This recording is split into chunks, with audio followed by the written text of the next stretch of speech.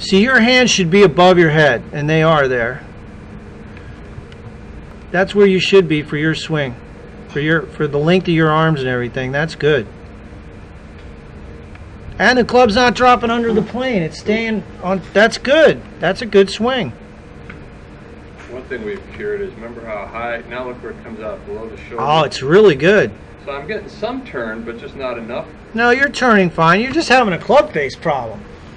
And it's all slide. See, it's slide and tilt. That's your move. Slide and tilt. Your upper body, when it stays over the ball, uh, you you'll do fine. It's just you get a little bit of a slide and you look your head. Now here's the other thing. You know, I'm not a big worrier about head movement in your game. That's not enough head movement to really be a problem. But it's it's the side bend that causes the push.